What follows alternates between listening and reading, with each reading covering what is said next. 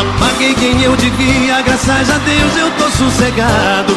Eu pus o burro na sombra e tô levando até meu cunhado. Enchi o tanque do carro, comprei cigarro e uma pinga boa. Juntei a traia de pesca, vai ser uma festa lá na lagoa. Falei pra minha patroa que a farra é boa e bem comportada. Eu vou com alguns amigos, não tem perigo nessa parada. Não ponho a cara pra tem agora é falar pra ela que eu vou pescar. O quê? Que pescar que nada, vou beijar na boca. Ver a mulherada na madrugada ficando louca. Que pescar que nada, vou